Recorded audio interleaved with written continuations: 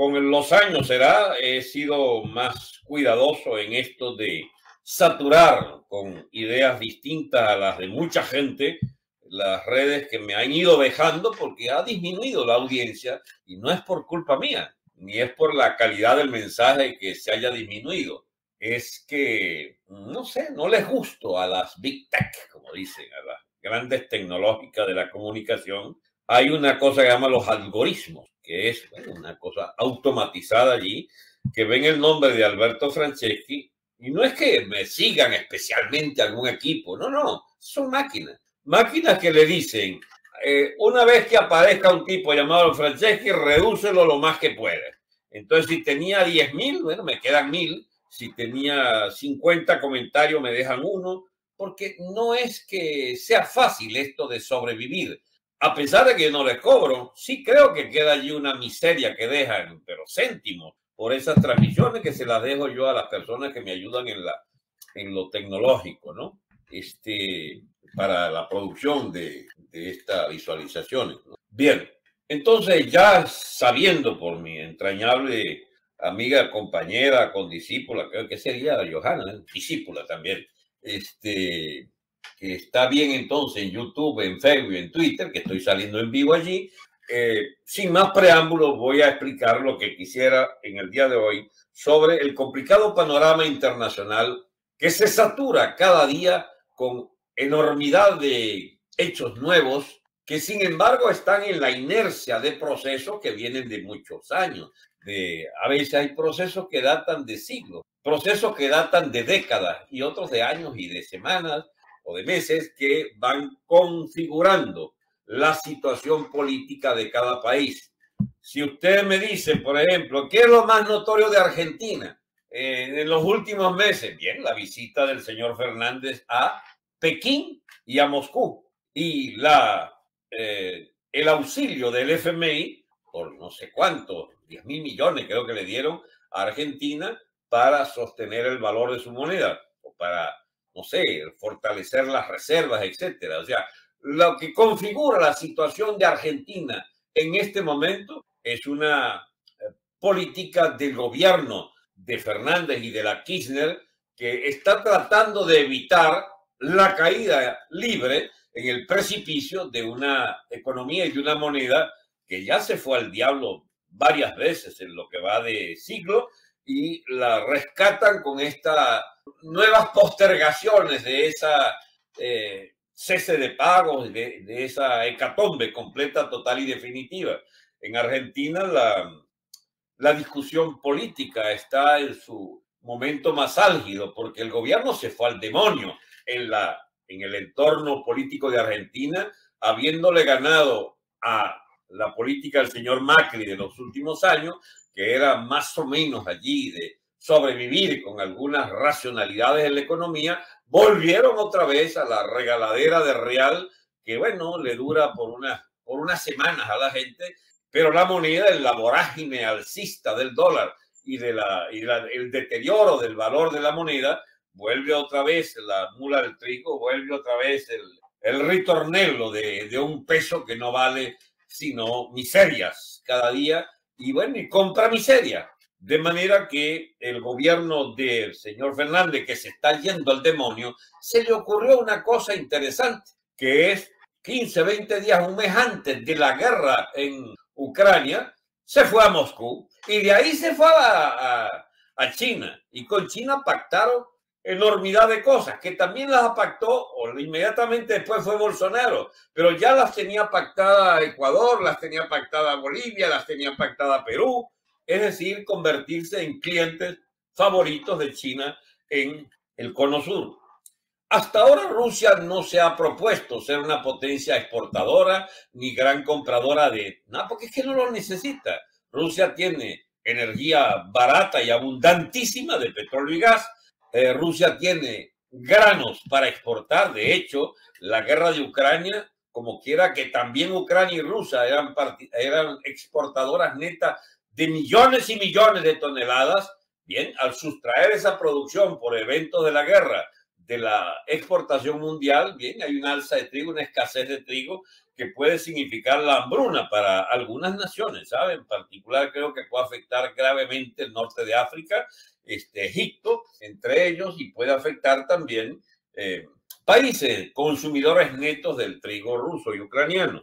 ¿A dónde va entonces Argentina en esta nueva etapa? Bien, va a una etapa de reoxigenación parcial con la, con la ayuda china de comprarle masivamente la producción de soya, instalaciones para producciones porcinas. Creo que han hecho enormes acuerdos para, eh, digamos, poner en producción tierras de, la Patagonia. Pero no solo eso, es que esa gente, aunque son tan o más ladrones que los chavistas, bien, el, el, el, auxilio financiero chino les ha servido para generar alguna cuota de empleos y alguna activación de sectores económicos. En el único país donde el fondo chino, la plata china no sirvió para estrictamente nada es en Venezuela, porque se lo robaron todo. Eh, le dieron unas cocinas y unas neveras allí a los activistas chavistas que habían pegado más afiches y bueno, y hasta ahí llegó el gran fondo chino, 30 mil, 30 mil y pico de millones de dólares. Se los tragaron, se los llevó el diablo. Este, y no quedó nada habiendo podido hacer un acuerdo con China excepcional para convertir, qué sé yo, eh, no sé, 100, 200 mil, medio millón de hectáreas cultivables en Venezuela eh, eh, de productos como para, para, para producir ganado y, y, productos de alimentos que se lo hubiera comprado China tanto o más, con, con más eh, facilidad que, que, el propio petróleo que se fueron llevando, en los límites que le fueron dejando a China, porque lo que no ha pasado es que eh, la producción de PDVSA permita ni siquiera pagar la cuota de obligaciones que se tienen con China. Pero miren ustedes lo que es una diferencia, a pesar de ser un gobierno de marginales, como es el gobierno argentino, sin embargo, allí la, la, el nexo comercial con China se transforma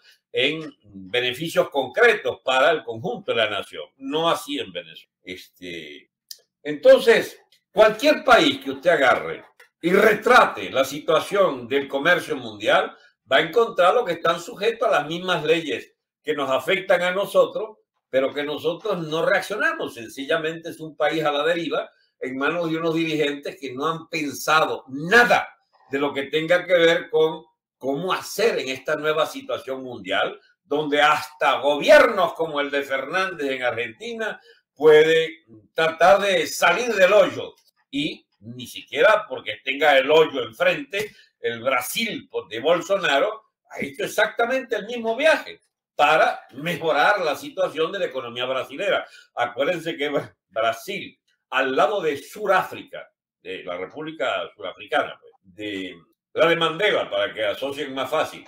La India, China y Rusia constituyen el bloque comercial este de casi, no sé, 3 mil millones de personas que constituyen el BRIC. El BRIC es uno de los grandes acuerdos comerciales y ese BRIC ha hecho algún desplazamiento, sobre todo sin la iniciativa de Brasil por ahora, pero va hacia allá, hacia desenganchar del dólar, desenganchar del dólar este, y encaminarse a una especie de independencia respecto a los vaivenes de una moneda llena de toda clase de vaivenes especulativos por los intereses de la gran economía armamentista, que es la única que en Estados Unidos tiene una agresividad exportadora, porque de resto Estados Unidos viene disminuyendo su peso en el mercado mundial y convirtiéndose en una nación solo importadora. Y en particular ese puesto de fábrica del mundo se lo cedió hace rato a China y China sigue progresando como nunca antes. Y vemos cifras en todos los países que eh, son tan distintos a los nuestros. Nosotros ni contamos, pero para nada, ni para residuos en, en, la, en, la, en las economías del mundo. La, el, el comercio alemán, por ejemplo, y el comercio de Europa toda con China, es impresionante la cantidad de miles de millones de dólares. Saquen ustedes la cuenta que eh, la discusión que tuvo Trump con China para lo, la balanza comercial, bueno, era de reducir, no sé, de 4 a 500 mil millones de dólares de déficit, de déficit. Lo equilibraron entonces hasta disminuir drásticamente esa cantidad. Eso fue lo que implicó que eh, la administración Trump apareciera ante los ojos de la, de la, del pueblo norteamericano como el que reflotó la, potencialidad de la industria norteamericana, la agricultura, la ganadería y sobre todo la, economía que hizo Trump con, el petróleo y el gas. Eh, Estados Unidos se convirtió en exportador neto de hidrocarburos y de gas, etc.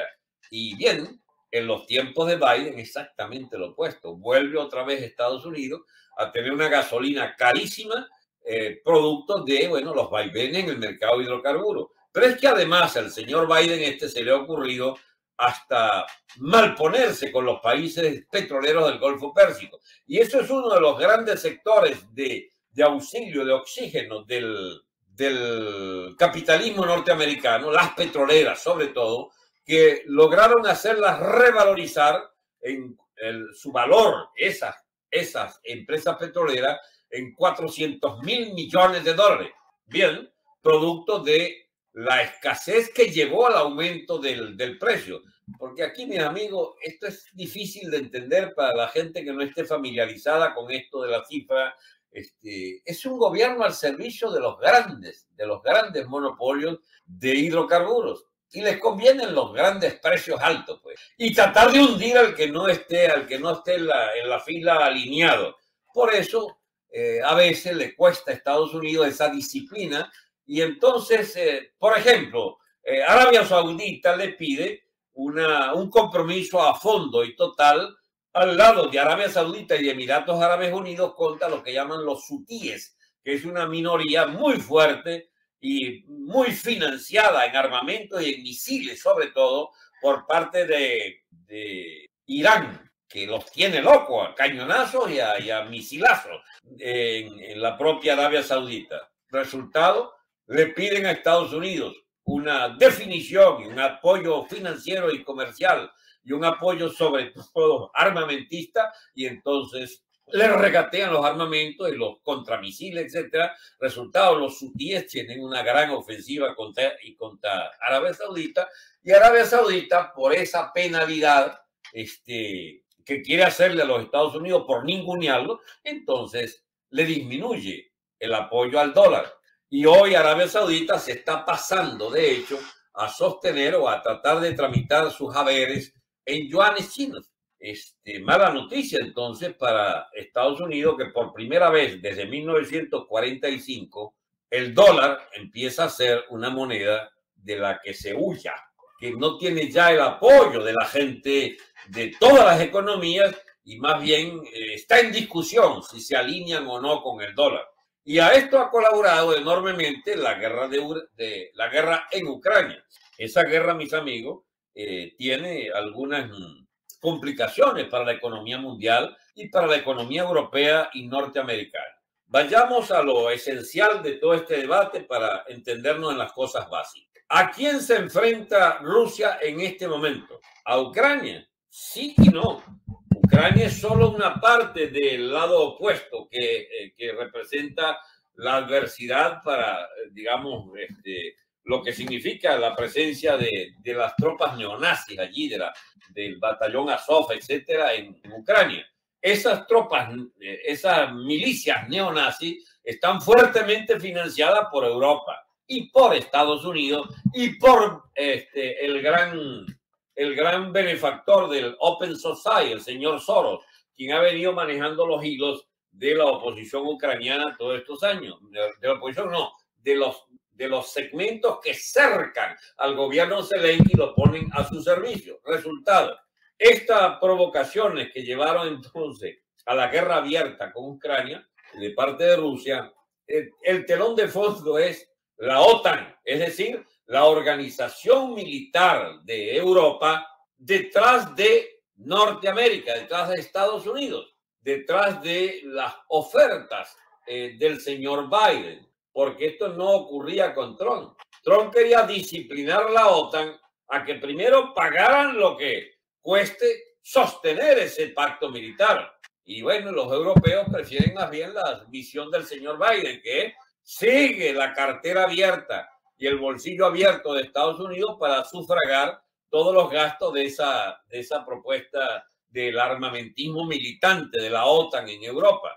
Acuérdense que la OTAN es la Organización del Tratado del Atlántico Norte, que supone, supone un pacto que debió desaparecer, porque se hizo contra el pacto de Varsovia o como consecuencia de la Guerra Fría que se inicia en el 45, 48 ya, 47, 48 más bien, eh, de rivalidad con la Unión Soviética y que tenía la Unión Soviética ese pacto que termina de conformarse en los años 50, el pacto de Varsovia. Toma el nombre de la ciudad polaca donde se, constituyó, de la capital de Polonia, y entonces el pacto de Varsovia implicaba pacto defensivo de contención del empuje la, de la geopolítica a favor de Norteamérica y sus planes de dominio mundial. Pues bien, eso duró hasta 1991, en que la Unión Soviética se derrumbó y con ella el Pacto de Varsovia. Quedó entonces el mundo al garete. Ahí fue que empezaron a hacer fiestas todos, con el, multi, el multi, la multipolaridad.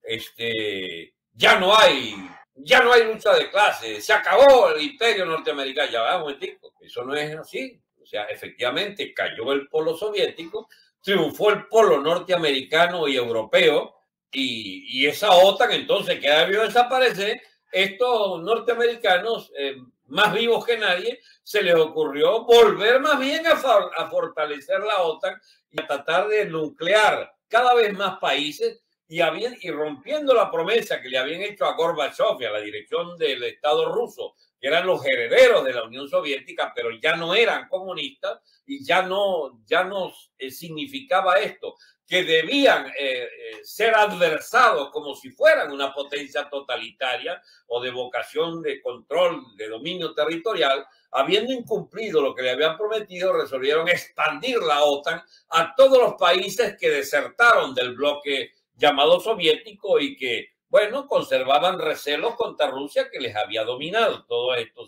décadas posteriores a la Segunda Guerra.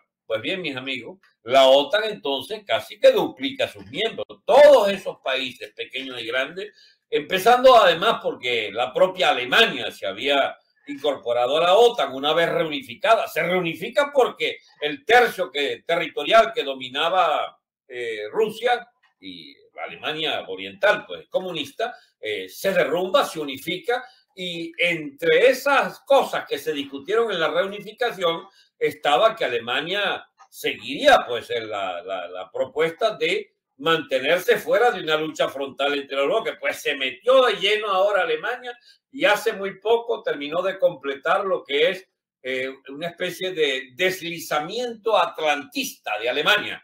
¿Con qué? Bueno, con que asumió un presupuesto de guerra de 2% eh, del Producto Interno Bruto, que implicó este solo año la compra de 100 mil millones de dólares en armamento. Ahora, ¿qué significa eso? Significa que ya estaría completada la disciplina de toda Europa detrás de la égida, detrás del liderazgo norteamericano. ¿Para qué? La égida norteamericana es para fabricar una política de bloque que no tiene razón de ser. Y el enemigo entonces vuelve a ser Rusia, aunque Rusia sea un país capitalista. Sí, pero es imperio, dirán ellos, y es un imperio concurrente. Y China es un imperio que ya no será comunista en su economía, sino solamente en su estructura de dirección política, que el Partido Comunista Chino sigue efectivamente dirigiendo aquello, pero lo que le separa a China no es que la dirija X oligarquía como la del Partido Comunista Chino, sino que es una economía que les concurre y les gana en todos los terrenos a la economía norteamericana. Estamos hablando de todos los terrenos.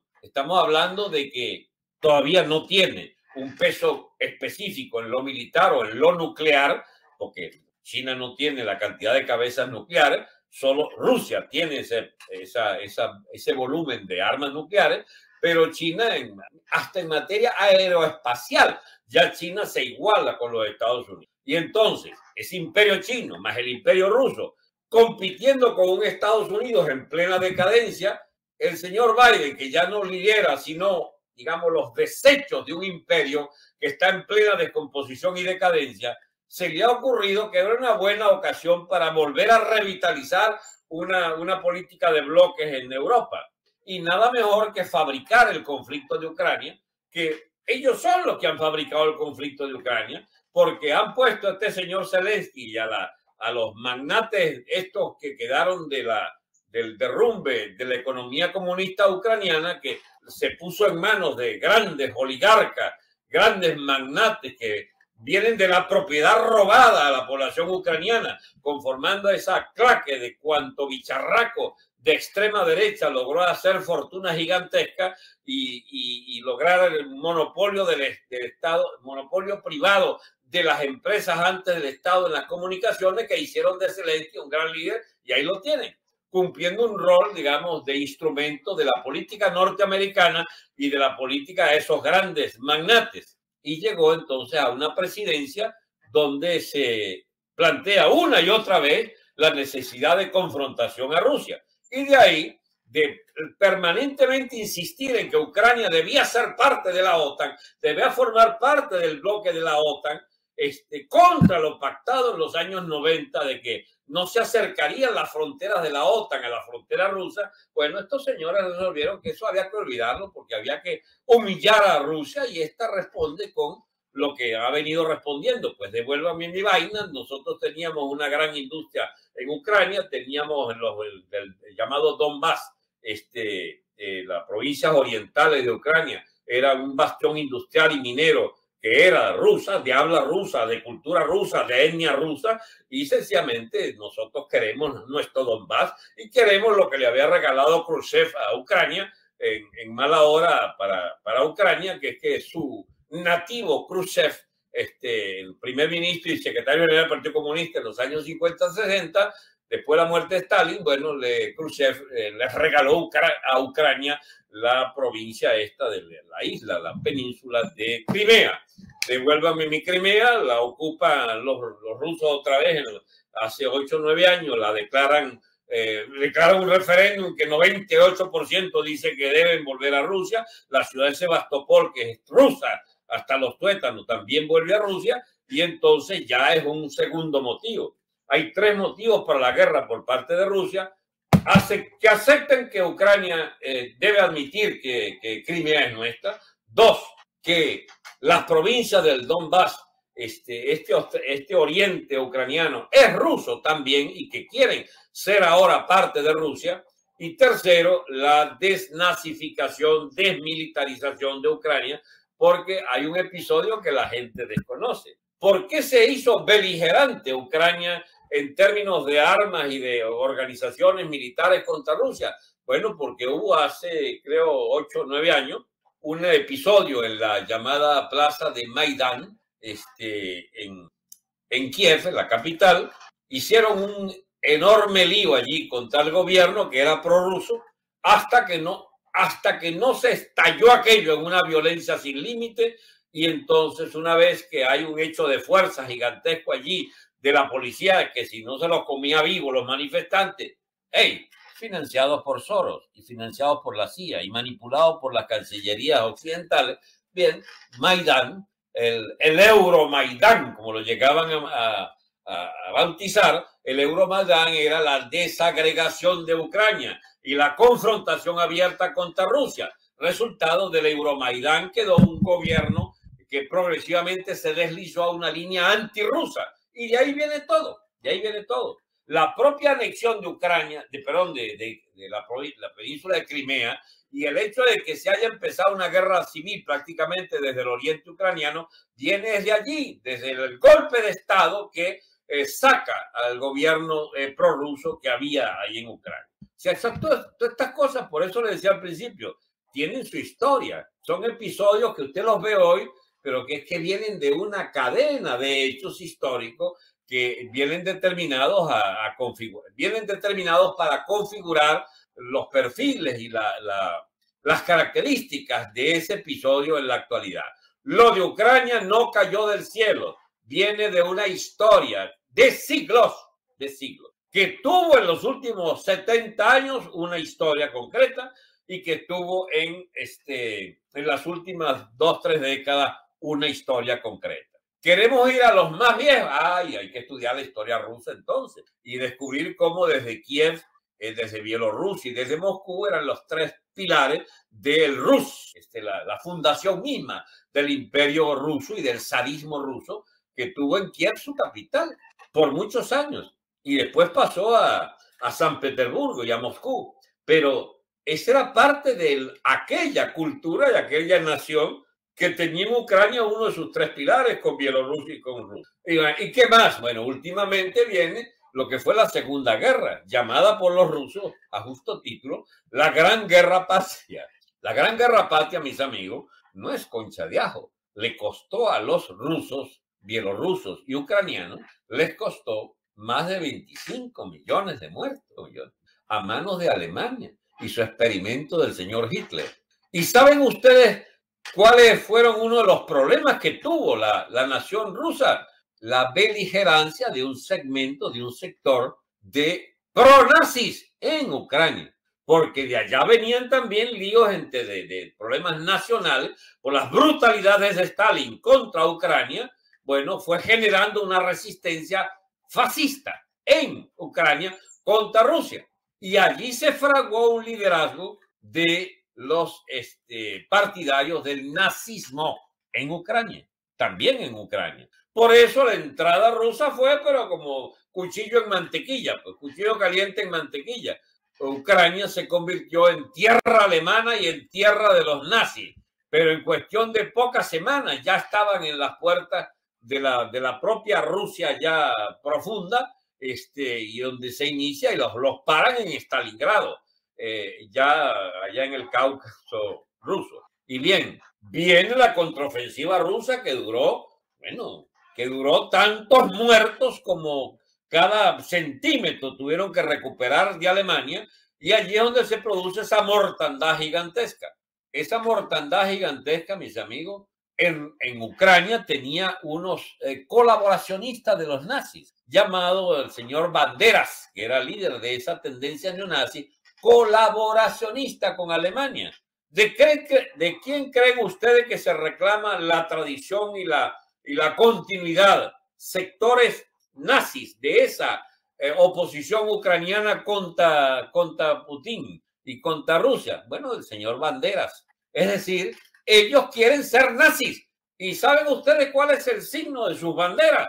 La esvástica nazi. Por eso, cuando Putin habla de querer desnazificar a Ucrania, hablan de eliminar ese segmento que vuelve otra vez a recordarle, una vez hubo una guerra con Alemania donde le costó a Rusia 20, 25 millones de muertos. Y puede venir un conflicto de nuevo con una Europa detrás de Alemania, que es su líder ahora, y con Estados Unidos, que es su incitador al armamentismo de, exacerbado, en medio de una decadencia norteamericana con este gobierno de Biden que hace una especie de, de atlantismo militante contra Rusia, que ya no es comunista, pero ya ven ustedes que la excusa no es que sea o no sea comunista, los que siguen diciendo que Cuba, que, Cuba, que eh, me llama Rusia es comunista es por ignorancia pura y simple. Cada vez que usted escuche Rusia es comunista, o ese es un sectario eh, empedernido que no ha entendido nada de lo que ocurrió en la historia mundial en los últimos 50 años y menos que menos en, la,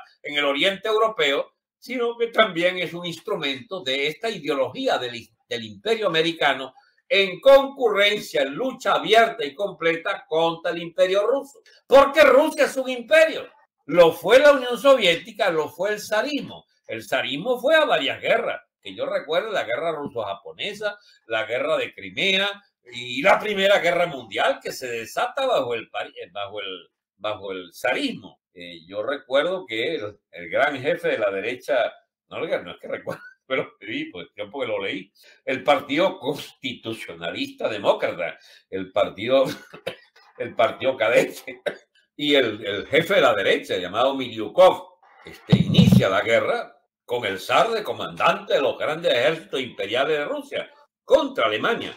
Hablo de este, 1914. Y a los tres años de esa guerra, estalla el Estado zarista, se produce la revolución, no voy a echarle todo el cuento porque sería muy largo el programa, este, se produce la revolución rusa, que primero, antes de ser bolchevique, fue una revolución democrática, dirigida por el partido de Kerensky, los socialistas revolucionarios de Kerensky, y el Partido Socialdemócrata ruso, de la derecha socialdemócrata. Los bolcheviques eran una ridícula minoría y sin embargo este, en seis meses, de ocho meses de revolución y de explosión política, van al poder y echan del poder a los otros partidos y matan a la familia del zar, al zar y a la familia del zar, como para que no hubiera chance de que nadie ocupara el sitio del zarismo. Eso fue ya en el año 18, en medio de la guerra civil enorme que costó 5 o 6 millones de muertos.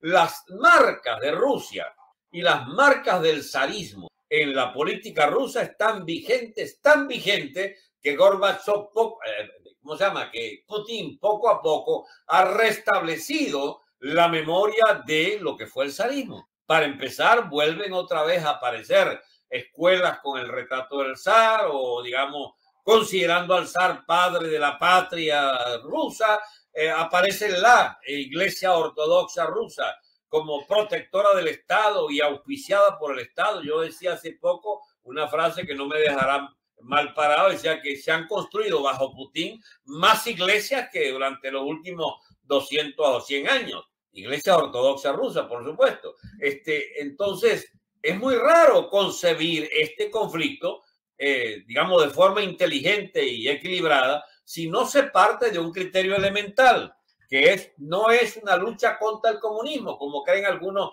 nostálgicos de los viejos sectarismos. No, es una lucha de imperios. Rusia es un imperio que tiene enormes, eh, digamos, eh, adquisiciones en sus manos. Primero, una rivalidad armamentista, porque Rusia es, a pesar de la debilidad de muchos de sus aspectos en su economía, el retardo relativo respecto a Occidente, Rusia tiene tantas cabezas nucleares como Estados Unidos y no le puede roncar Estados Unidos con armamento nuclear porque habría, se habría logrado lo que se llama la teoría, la teoría no, la tesis de la, mutua destrucción asegurada. Es si Estados Unidos puede estar eh, absolutamente, eh, digamos, convencido de que atacar nuclearmente a Rusia y recibir la respuesta nuclear rusa equivale a que ambos quedan borrados. Bueno, y con ellos toda la humanidad, por supuesto. Entonces, del punto de vista del armamentismo, el armamento y la, capacidad militar del imperio ruso, heredero del imperio soviético y heredero del imperio zarista,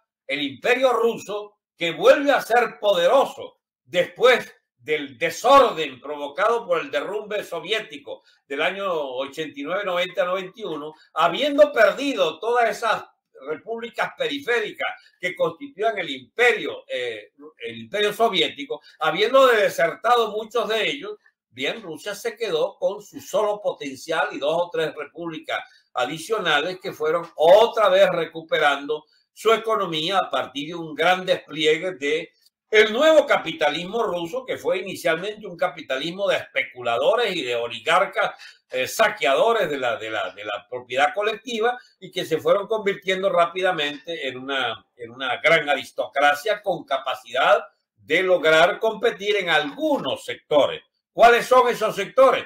Todo lo que tenga que ver con industria militar. Los rusos son competitivos.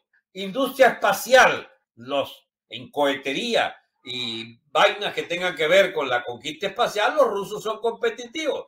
Eh, lo que tenga que ver con producción agrícola de gran, en gran escala, los rusos son competitivos, son grandes exportadores de grano.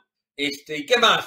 Bueno, la, la minería eh, de grandes proporciones y, la, este, y el petróleo y gas, que son los mayores productores del mundo y los más grandes exportadores del mundo.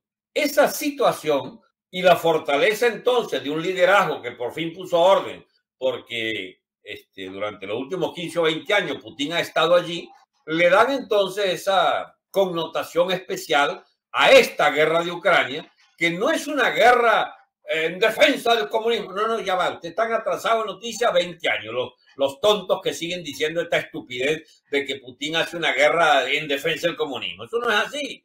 Rusia es un imperio y defiende su imperio y los yanquis lo quieren barrer de allí. ¿Y cuáles son las, ¿cómo se llama? Las ventajas que tiene Rusia en esta pelea? Bueno, que no tiene una economía vulnerable y la quieren hacer vulnerable. ¿Cómo? A partir, por ejemplo, de reventarles la moneda. ¿Y qué hacen los rusos? Defender su moneda. ¿Qué están haciendo en los últimos días? Amigos, una medida muy audaz y muy, y muy seria. Es el rublo vale lo que diga su respaldo en oro. Es decir, que usted puede cambiar 5 mil rublos por una pepa de, de, un gramo de oro. Es una taza, un, una taza de oro. A mis amigos significa que cualquier economía que quiera competir contra, los, el Estado ruso tiene que saber que el punto sólido de inicio de los rusos es que su moneda no está sujeta a especulación. ¿Y qué es lo que ha dicho entonces frente a todas las medidas de extorsión y de venganza de Europa por la cuestión de la guerra en Ucrania? Lo que ha hecho Rusia es entonces, todas las sanciones que le han hecho, decir, bueno, pero ahora me pagan entonces ustedes en rublos, en mi moneda. ¿Y qué más? Bueno, que esa moneda está tasada ahora en oro. ¿Y por qué puede Rusia hacer eso? Bueno, porque es la más grande productora de oro del mundo.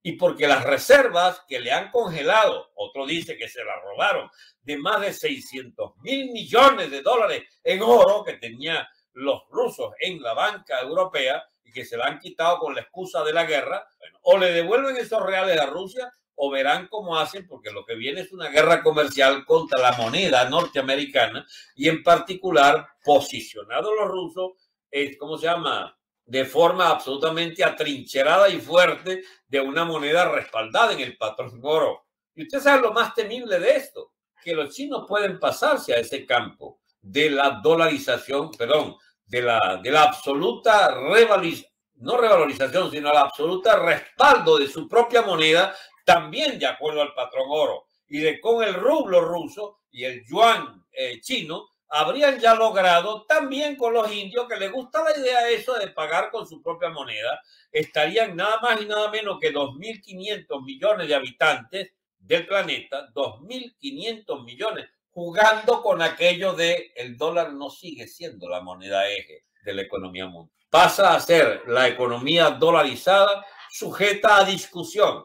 Y eso es lo que tiene en pánico más de un sector y eso es lo que obliga también a la vehemencia en la, en la, en la discusión sobre la guerra que quieren hacer a Rusia entonces un país de, se llama? De, de, bandidaje y de y está la propaganda de guerra exagerando todas estas cosas que implicaría que los desalmados son solo los rusos. Ya va, mis amigos. Lo que han hecho los rusos en Ucrania, suponiendo que hayan hecho todo lo que, di, todo lo que dicen que, que hicieron, eso es la, la, décima parte de lo que ha hecho Estados Unidos en Irak, en Medio Oriente o en, ¿cómo se llama? O en, o en Afganistán o en África. Eso es lo mismo. Todo imperio tiene comportamientos deleznables en las, en las incursiones que haga con sus ejércitos o sus agencias pagadas en, la, en las economías, en las naciones de otras, de países que no se subordinaban a sus dictados. Amigos, la guerra de Ucrania está llegando a su final. Lo que va a quedar es un enorme problema de discusión sobre si el dólar sigue siendo moneda eje de la economía mundial. Sigue la discusión sobre cómo es que Rusia desengancha o cómo es que Rusia obliga a que Alemania y toda Europa tenga que pagarle en rublos y en oro su gas, del que depende en un 80% la industria alemana. ¿Usted sabe lo que significa que Rusia apague la llave del gas para Alemania? significa que el país entero se para en cuestión de dos, tres días. Se para, se paraliza. Bueno, puede entonces reanimarse un 10, un 20%, un 30%, porque los yanquis mandan una parte de sus reservas y viene, entonces compran eh, una, unos nuevas, ¿cómo se llama? Ponen a funcionar eh, nuevas corrientes con el Medio Oriente y de, de surtido de petróleo y de gas de, de Qatar, etc. Sí, pero eso puede llevarle meses antes de que todo eso pueda funcionar para sustituir el gas ruso, estaría muerta Alemania y con ella Europa. Se dice fácil esta cosa, pero es que ocurre, cada vez que usted prende una cocina o enchufa una nevera o le pone gasolina a un carro en Alemania, en un 80% depende de Rusia. Entonces, por supuesto, hay conductas que son este, cuidadosas. En esta diplomacia, ayer estaba hablando el, canciller alemán con Putin otra vez. ¿Por qué? porque les aterra una confrontación prolongada en el tiempo. Yo hace 15, 20 días, no sé si le dije ahora, le recordaba, que me pareció tan raro que esa, la cifra, pero la dije con gran desconfianza, que Alemania le compra a Rusia todos los días, eh, perdón, que le compra al mes mil millones de dólares. No, mis amigos, es diario, diario. mil millones. Es decir, que Alemania, nada más que Alemania, le debe a Rusia cada mes 365 mil millones de dólares o de euros, que son más caros que el dólar. Yo no sé, yo dos, tres veces le he oído esta, esta cifra a expertos como el señor Varas, por ejemplo, un español que siempre está actualizado en esto de la cifra, y vuelven a ratificar que son mil millones de dólares diarios, mil millones de euros diarios. Amigos, lo que ha pasado en Ucrania y lo que todavía está por pasar tiene la marca de una típica guerra económica con la que pretende reventarse el rublo ruso, reventarse el sistema de transacciones comerciales de Rusia con respecto a Occidente, eh, implicaría volver a tratar de restablecer a Europa con alguna beligerancia en la política mundial y en la presencia militar de Europa a nivel mundial. ¿Y qué es lo que le falta por hacer? A Medio Oriente lo martirizaron por años. En la propia Europa, la propia Yugoslavia supo lo que eran las democráticas bombas de la OTAN contra el propio pueblo yugoslavo. ¿Qué van a hacer? ¿Qué van a llevar la guerra? ¿A dónde? Pero viene lo de China como respaldando esta, esta nueva etapa en la situación mundial.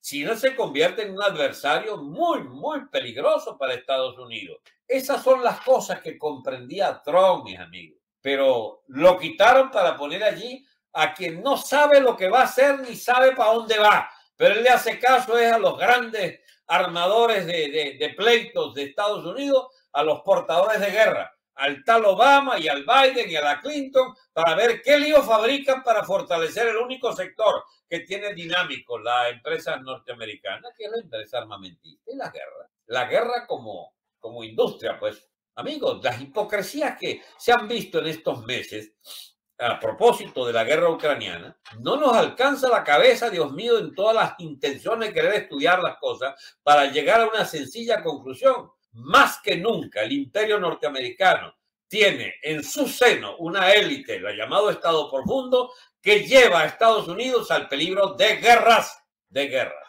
Y si Rusia entró en la competencia armada contra, eh, contra Occidente, dirigido por los yanquis, sabiendo Rusia que tiene la salvaguarda de su propio armamento nuclear, entonces esto como tiene un límite que es no podemos tirarnos bombas nucleares, empieza a derivarse hacia la guerra económica. Rusia está sufriendo las consecuencias de la guerra económica, empezando por la guerra de las monedas, pero no está garantizado que le ganen, que le ganen, perdón, no está garantizado que le ganen a Moscú esa guerra monetaria. Pero ¿y si entra China? ¿Usted sabe cómo entra China a este lío? No se sabe. La India sabemos que es un país de vocación pacífica y no quiere tener un imperio indio, pero China sí quiere tener un imperio chino. Lo que es que mientras están agitados los de Biden, etc., los chinos piensan esa vaina para medio siglo, un siglo más adelante. Ellos entonces tienen problemas contenciosos, digamos, son entredichos históricos, donde queda todavía la suerte de Taiwán, por ejemplo, la isla de Formosa la de la isla que era la que dirigió Chiang que se fugó para allá cuando Mao Zedong ganó esa guerra del 49, la guerra civil, y entonces quedó como contencioso. A lo mejor arreglan pacíficamente la vaina, este, reintegrando Formosa, reintegrando Taiwán en la economía eh, del gigante chino continental, porque a China, la, la isla, el nacionalismo llamado, es una, es una isla también muy próspera son grandes proveedores de, los microchips, son grandes fabricantes y hay cosas que son ejemplos de lo que puede venir en, los años que vienen. Hay fábricas en, en, en China continental con 2, 300, 500 mil obreros, propiedad de fabricantes de Taiwán en China. Hay enormidad de fábricas de propiedad de Taiwán en China. Lo mismo pasaba con Hong Kong. Lo Hong Kong es otra historia, pero lograron armar una sustitución de la administración inglesa que se cogió esa vaina por un siglo y los chinos esperaron pacientemente su siglo. Miren ustedes, lo que es esperar. ¿eh? Está bien, está bien, no te esperamos. Esperamos, esperamos, esperamos. Llegó 1999, devuelvan a Hong Kong. Eh, que ustedes tienen que hacer tales y tales. Ya, ya, ese es un problema nuestro de aquí para adelante. Está bien. Nosotros sí vamos a reintegrar Hong Kong con unas condiciones, la que ustedes quieran. Una vez que agarraron Hong Kong, eh, le dieron a los ingleses, esta vaina es mía y aquí se hace lo que nosotros digamos, porque somos los dueños de esta ciudad y los dueños de, esta, de estos, no sé, 20 millones de chinos que hay ahí, o 25 millones. Resultado, mis amigos, lo de Taiwán va para allá también. Así le digan a China que eso tarda 10, 15 o 20 años más. Porque los chinos planifican para 20, 30 o 50 años como mínimo. Ahora, ¿cómo queda esto de que China, que no estuvo en la guerra de, de, Ucrania, no le, no, le, no le compitió, se dice, no le, no, le, no le significó que ella tuviera que valorizarse o, o desvalorizarse por las incidencias de esa guerra. Eso es un costo que lo va a pagar Rusia, lo que haya que pagar. Y Europa tendrá que pagar lo que le ha hecho a Rusia por esa guerra. Pero China está ahí como esperando. China tiene otras ocupaciones. Ahorita tiene otra vez el lío del brote del virus chino este, que a la China han, han, tratado de resolver la vaina. Yo no sé si ustedes vieron unas noticias horribles ayer, que muchos chinos se lanzan del piso 20 o 30 de los edificios donde viven, desesperados por hambre, porque los chinos resuelven esa vaina muy fácil. Aislamiento, aislamiento. Le trancan el edificio, la puerta, y le, soldan la puerta. No sale nadie, no entra nadie y que se mueran ahí adentro. El que tenía comida para un mes, bueno, eh, ¿cómo se llama? Aguantar el. El que no, no tenía para tres días, bueno, pedirá a los vecinos. Al tercer o cuarto día que los vecinos lo espantan, como apestosos, empiezan los líos, de verdad. Va a haber problemas hasta de canibalismo en China.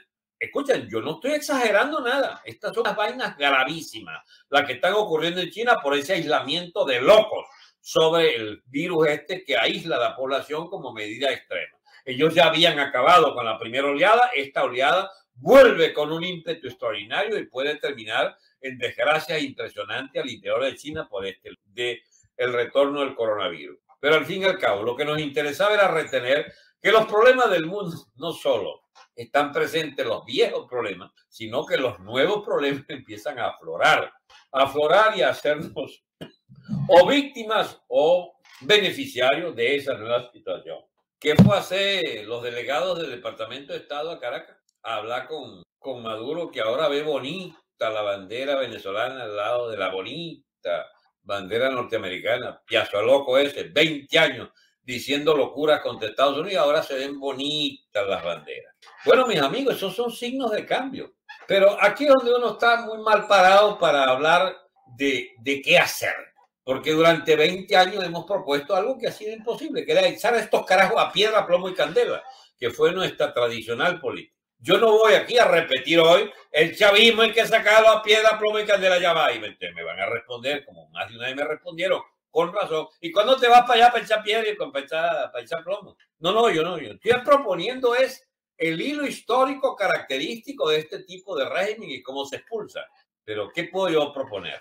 Yo lo que propongo ahorita es comprender dónde estamos y para dónde vamos. Una vez que nosotros comprendamos para dónde vamos, quizás tengamos entonces una oferta política que hacer. Por ahora hay muchos concurrentes, muchos competidores que proponen de todo. María Corina tiene que ser la presidenta, dicen uno. Sí, ajá, ¿y cómo se hace para ganar y para reunirnos todos en torno a ella y que haya unas elecciones? Tiene que haber elecciones, tiene que no hacerle trampa y tiene ella que convencer no a nosotros que pudiéramos apoyarla. María Corina tiene que convencer a nueve de cada diez de los de, los de la MUD que la quieren matar. Malagradecida, bicharraca, de todo le dicen a María Corina. Los de la MUD. Nosotros no ofendemos a María Corina, podemos perfectamente apoyarla. El problema, María Corina, es que no va a haber elecciones, que no gane el chavismo. Tú te vas a prestar para unas elecciones trampeadas donde el chavismo ratifica por seis años más señor Maduro. Ese es tu problema, no es nuestro. Nosotros no participaremos con este CNE o algo parecido mientras Maduro dirige el régimen venezolano y el señor padrino, el señor padrino, por favor, el dicho ese padrino sea el jefe de la Fuerza Armada. Ajá. ¿Qué más tenemos como novedad en Venezuela? Que se ha recuperado, no, la economía Venezuela se ha recuperado un carajo. Se ha recuperado el consumo de lujo de un 2, 3, 5%, póngale, de la población, porque se ha disminuido drásticamente el peso del estatismo asfixiante que antes era la guía de la economía venezolana. Se le ha permitido a la gente volver a tener dólares, se le ha permitido a los bancos manejarse con alguito de dólares, el gobierno vende algo de petróleo, entonces pone en posesión de la banca algunos dólares, este, las mafias que todavía existen y en gran cantidad eh, manejan dólares en sus transacciones, pero hace rato Yulei está dolarizado hace como ocho años, diez años, yo le hice. El Coqui ya no puede manejar sus dólares porque peló bola. Este, el tren de Aragua tiene sus dólares. Siempre ha tenido sus dólares. ¿Y quién más? Bueno, todos los grandes magnates eh, chavistas tienen sus dólares. Ellos los sacan poco a poco. Ahora, ¿dónde están esos dólares? Ay, mi amigo, ¿cómo va a saber uno dónde están? Están guardados bajo tierra, están en bancos eh, de otros países y los mandan graneados. Pero total, que allí llegan los puerta a puerta cada vez más y ahí llegan los bodegones que han abierto sus puertas y supermercados muy surtidos. ¿Pero para quién? Ahí no hay gente. Yo he sabido, he visto, me han pasado películas de supermercados de estos nuevos, cuatro o cinco cadenas en la sola Valencia, por ejemplo, carajo, extraordinariamente bien montado, pero vacío aquella vaina. ¿Por qué? Porque no hay gente que tenga dólares para comprar los eh, nuevos mercados dolarizados. ¿De qué es el chavismo? Es la peor iniquidad contra las masas populares. Es algo así como la venganza histórica contra la pobre gente. Ustedes, pobres de Venezuela, que confiaron en estos galfaros del chavismo, miren ustedes a dónde nos llevaron a que la economía solo sea para ricos, solo sea para gente que tenga dólares, solo sea para gente que pueda traficar y delinquir. Ustedes no están en la lista. Entonces vean cómo hacen. Se acomodan carros allí o si acomodan nevera, alguna vaina que sepan hacer para que les tiren unos dolarcitos, contando con que no hay billetes de a uno y entonces suben cinco, este, entonces para que tengan una entrada de 40, 50, 100 dólares. Carajo, extraordinario, 100 dólares eh, mensuales o 200 300, pero eso no, no, no son gran cosa. Se necesitan mil, dos mil dólares para medio vivir en Venezuela. Es una economía dolarizada. ¿Se han, visto ustedes que no volvieron a aparecer aquellos de los chalequitos malditos de los militantes de las VHS eh, controlando el peso del pan y el pobre portugués que lo tenían a monte en la esquina porque no tenía el pan regulado y la otra vaina regulada y la carne regulada y la leche regulada? Todas esas regulaciones se pudieron, se acabaron. Ahora lo que hay es el libre mercado puro y duro. Y en ese libre mercado dolarizado, solo la casta chavista y la casta de los alcahuetes de la alta clase media de la MUD, o que inspirados en la MUD, coexisten teniendo confianza en el porvenir de Venezuela. Bueno, disfruten esa Venezuela. Nueve de cada diez no podemos vivir allí ni que vivamos allá, porque bueno, una cosa es estar físicamente allá, pero para pelar bola allá uno prefiere pelar bola afuera, sinceramente. Entonces, ¿cuál es el objetivo de este tipo de conversaciones? Alertar a los venezolanos que es muy difícil, mis amigos, que esto dure. Parece mentira que todo esto sea para decirles, eh, de verdad con propiedad, que nos esperan días mejores, no días peores, pues ya es imposible pensar que esta vaina esté peor. Pero si el chavismo aflojó la dolarización de la economía, si el chavismo aflojó lo de la frontera, donde me imagino que ya está restituido algún flujo de mercancías y personas en la frontera con Colombia, esto puede terminar en un gobierno a la defensiva, en un gobierno arrinconado donde lo deja existir el AMPA, pero con una población que con libertad de iniciativa logra restituir parte del tejido social y del tejido económico que la acompaña, con la libertad para hacer algo que signifique ingresos para nueve de cada diez venezolanos excluidos completamente de ese mercado, según lo concibió ese premio Nobel de la economía que es Maduro. Y entonces tenemos una Venezuela con una recuperación que a este ritmo creo que en 60 años más o menos lo queremos reconstruir si es que le damos 60 años al chavismo. El país está dispuesto a aguantar estos vagos y maleantes 60 años más, porque a ese ritmo en que va la recuperación de Venezuela, que de los bodegones y de las vainas, los circuitos comerciales, se vaya entonces a talleres de reparación y los talleres de reparaciones entonces pueden traer las piezas de, y entonces las piezas es con una recuperación del mercado petrolero que en lugar de 400 mil barriles pueda exportar un millón, este, bueno, que se los compren entonces y entonces ver que uno o dos años más pudiera haber un 10% en lugar del 4 o 5% actual, un 5, un 10% de gente incorporada a la prosperidad de los 100 o 200 dólares mensuales. Estamos, ¿Usted sabe de qué estamos hablando, mi amigo? De un país de miserias, de miserias que progresa en la miseria. Bueno, en todos los países del mundo. Usted van a Bangladesh, ¿entiende? Con un promedio de qué sé yo, de 50 dólares de promedio por ingreso familiar. Y ustedes van a conseguir que en Bangladesh hay ricos y hay clase media y todo. El problema es la cantidad de gente que están sumidas en la más abyecta miseria para que estos vagos vivan bien. Bueno, mis amigos, terminada la guerra de, de Ucrania, desordenada la economía mundial que tenderá un nuevo eje, que quizás no sea del dólar hegemónico, sino que sea una crisis espantosa también en los propios países europeos y en los Estados Unidos, una inflación galopante. Yo no sé cómo nos va a maltratar esa inflación en Venezuela, pero esa la pagamos, la pagamos, esa inflación de los países ricos. Entonces, ¿tendremos oportunidad nosotros de sacar la cabeza del hoyo en el que estamos? Bien difícil. De todas maneras, no perdamos la fe.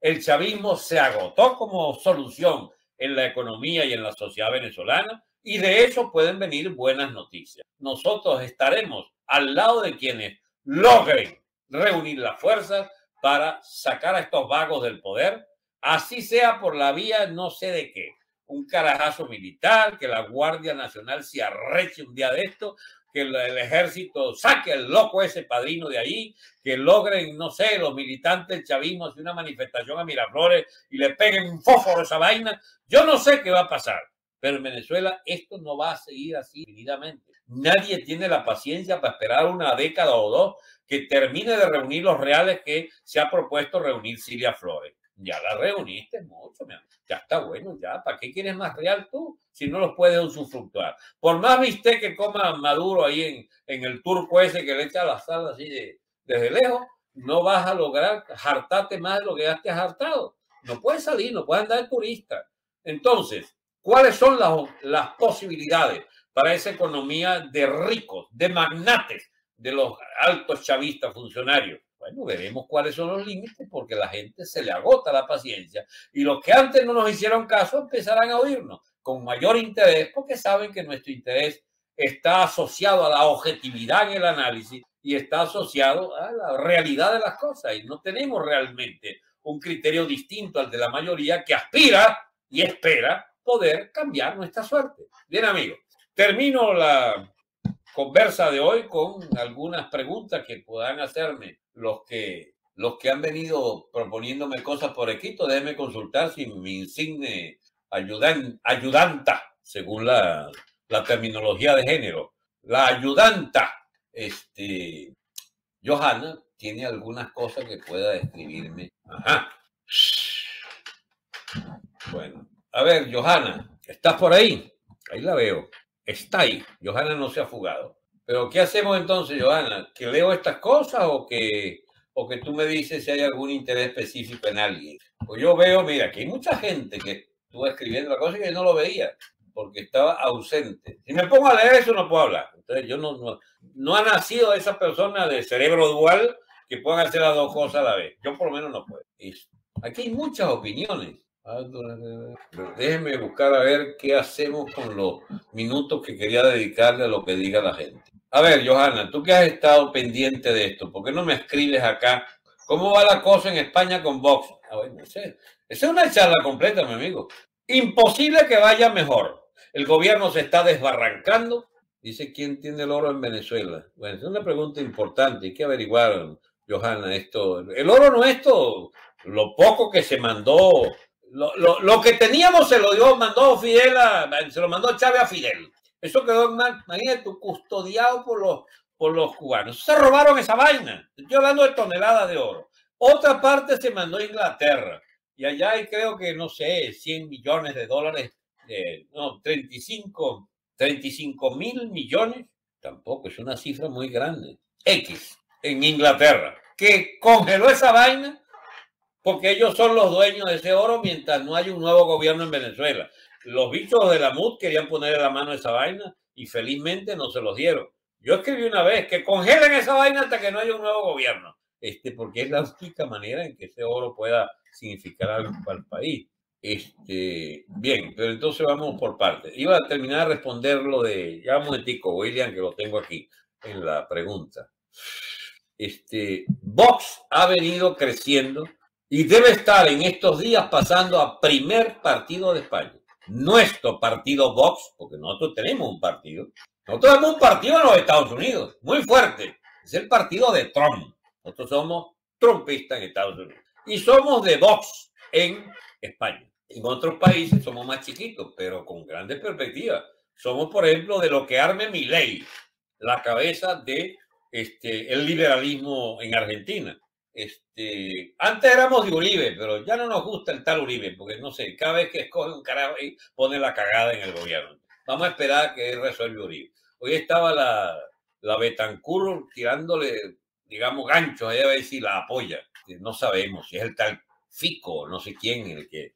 En todo, en todo caso, nos enseñó el señor Uribe a no confiar en, su, en sus opciones, en su, ¿cómo se llama? En sus escogencias porque cada uno es peor que el otro, entonces Dios mío, santo, este muchacho, ¿cómo se llama? El tal de Duque, ¿quién viene ahora? Es más, hay la duda de si gana o no gana, porque el bandido Petro tiene alineado no sé cuántos grupos ya alrededor de su candidatura. Pero decía, tenemos nuestra gente en muchos países, solo que a veces ni siquiera los conocemos, pero nos identificamos con ellos. Este, ¿Qué puedo decir? Esperemos entonces que el amigo Milei progrese enormemente hacia la campaña del 24, creo que son las elecciones. Y esperamos que Vox sea el eje de, un nuevo, de una nueva mayoría parlamentaria en, en España. Ya está por encima de los 8 millones de, votantes. ¿eh? Tiene el 25% de los votos igual que el Partido Socialista. El problema es que en España la cosa se complica porque es un gobierno de base parlamentaria. Tiene que tener mayoría parlamentaria. Yo no sé, puede ser que Vox siga creciendo al punto de poder tener una mayoría parlamentaria, una mayoría absoluta, que tenga más de la mitad más uno de los diputados. Eso haría de España otro país distinto, otro país distinto que este, hace inviable que pueda retrocederse a las locuras del izquierdismo, del izquierdismo eh, comunistoide que representa en este momento el, señor más, más, más, más atrasado que el tal Sánchez, es difícil imaginarlo. Entonces, Vox puede ganar, pero si no tiene mayoría absoluta, tiene que pactar con el PP. Es decir, tiene que eh, morigerar, tiene que, este, eh, ¿cómo se llama? Tiene que disminuir su programa para poder gobernar en mayoría. Entonces, ese tema eh, español mejor lo explico en una oportunidad nueva donde podamos ver las, las posibilidades de esa, de, esa, de esa coalición que obligadamente tendría que hacerse con un PP, que es alcahuete de todas las cosas del Partido Socialista. Bien, ¿qué pasa con monómero y círculo? Lo recuperaremos. Lo primero hay que ser poder, amigos. Imagínense usted. Recuperar monómeros tiene que primero ser gobierno y eliminar todas esas trapisondas que hizo el Guaidó y compañía para, para robarse esa vaina. Este, y el filósofo Julio que no se haga el inocente, él está metido en ese guiso. Bueno, y, los, y no puede ser que los chavistas celebren que los Guaidó lovers se, se cogieron esa vaina. ¿Y qué hacemos con todo lo que se han cogido los chavistas? Que es 100 monómeros y 100 eh, y 100, todos se lo cogieron los chavistas. Entonces, la vaina es complicada, ¿no? Bueno, Saludos de Miami. ¿Qué sabes sobre la plata congelada del chavismo por Putin? No sabía eso. Bueno, a ver, este, vamos a ver si entonces me sopla la amiga, la amiga Johanna. Apoyemos el canal de nuestro like. Bueno, este es un mensaje recomendable. Apoyen con los likes y, ¿cómo se llama? Y los aportes que puedan hacerle al, al Patreon de los repúblicos. La gente bastante pichirre con nosotros, ¿eh? dicho sea de paso. Vienen apoyando cuanta vaina por ahí, pero a nosotros no nos dan apoyo que no es para mí, es, para, digamos, para el funcionamiento de, de todos los vainas que hay que suscribirse y tal para mantener a flote la página y su estructura técnica básica. Bien, este, si, si Johanna no pone nada aquí, yo no sé por dónde vamos. Ah, es que están tantos mensajes, Dios mío. El chavismo se gracias a la creencia de alguna población de propaganda. No vamos a saber en ese oro se lo robaron Inglaterra. No, no se lo han robado, mis amigos. Eso está en el Banco de Inglaterra. Pero Inglaterra tiene 300 años robándonos. Se todo el oro venezolano y de toda América hispánica se lo robó Inglaterra, por, por su información. La independencia que fue financiada o estimulada o ayudada por Inglaterra era para descuartizar a España como potencia dominante en este hemisferio eh, americano. Y se robó toda esa vaina, todo se lo robó Inglaterra. Se lo llevaron para Inglaterra y allá está, los herederos de ese oro, una gigantesca fortuna. Y bien, y nos dejaron, en cambio de ese oro, nos dejaron una vaina que se llamaba la deuda externa. Nos esclavizaron a todos estos gobiernos de Hispanoamérica, fabricados por Inglaterra, nos dejaron la deuda con el Banco de Inglaterra, etcétera. Y así tuvimos todo el siglo XIX pagando, pichándole a los ingleses el favor de habernos saqueado y de habernos sacado del dominio español, amigos. La ingenuidad de los pueblos y la, la, llama? las desgracias de los países. Eso hay que estudiarlo otra vez, ¿no? Porque nosotros vivimos mucho mejor con España como potencia madre de toda nuestra república, que con la plaga inglesa que nos cayó desde que Bolívar se le ocurrió sacar a los españoles de aquí. El propio Bolívar murió arrepentido. Para los que me quieran acusar de antibolivariano, bueno, acusen al propio Bolívar de ser antibolivariano, porque él dijo, hemos arado en el mar y toda esta vaina fue un disparate completo. El propio Bolívar. Lo dijo, bueno, amargado un poco porque la independencia de Venezuela fue contra él. Bolívar no quería la independencia de Venezuela, quería países grandes y prósperos como el, ¿cómo se llama? El, la Nueva Granada convertida, el virreinato de Nueva Granada convertido en la República Gran Colombiana, y lo mandaron al carajo y se murió solo allá en, se murió solo en, en Santa Marta. Bueno, esto de las deudas. Ay, mis amigos. Dicen que hay 1.500 millones, dice Paul, que están guardados en Inglaterra. Sí, ahora, ya va. Venezuela tenía un ingreso superior a los 25, 30 mil millones de dólares anuales.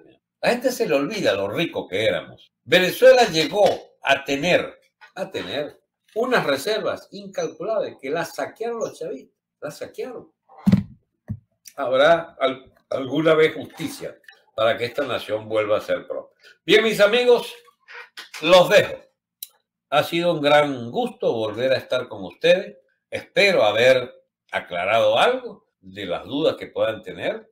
Espero que tengamos mejor suerte en los próximos meses Espero que Maduro siga viendo bonitas esas dos banderas reunidas, porque no es que nosotros seamos partidarios de Maduro por haber dicho esto, pero es que en realidad nuestra bandera es muy bonita y la Yankee también. Y juntas de verdad sería una enorme ventaja si alguna vez vuelve otra vez el señor Trump al poder o el Partido Republicano vuelve al poder y abandona esta política de locos aventureros y troanes del Departamento de Estado que han pactado nuestra pobre nación para arreglo de los no sé qué agiotistas que van a quedarse con este pobre país. Pero si vuelve Trump al, si vuelve Trump al poder, es porque entonces Estados Unidos sí tiene destino y nosotros podemos tener también un mejor destino. Esperemos que eso suceda.